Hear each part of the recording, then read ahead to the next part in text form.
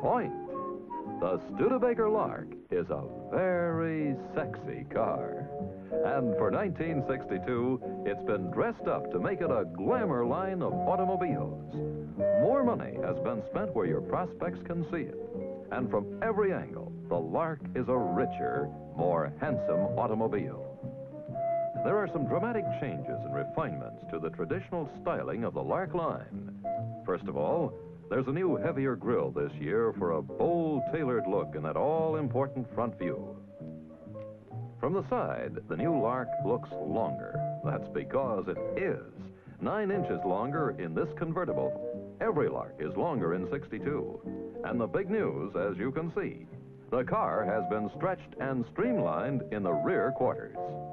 Extension of the front headlight cells and grille moldings add to the longer look this year.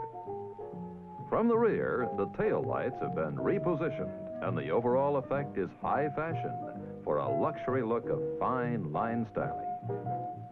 Don't forget, interior styling to a lot of people, especially women, is just as important as good looks outside, and there have been some mighty big changes inside the dressed up Studebaker Lark. First of all, the fabrics and vinyls in every series are richer.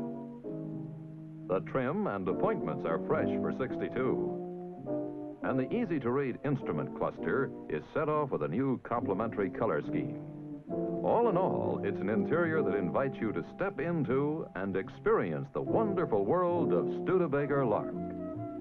Good news for every 62 Lark owner. The lower edge of the trunk lid has been dropped to only 4 inches above the bumper. That makes for easier loading in Lark's 17 cubic foot luggage compartment.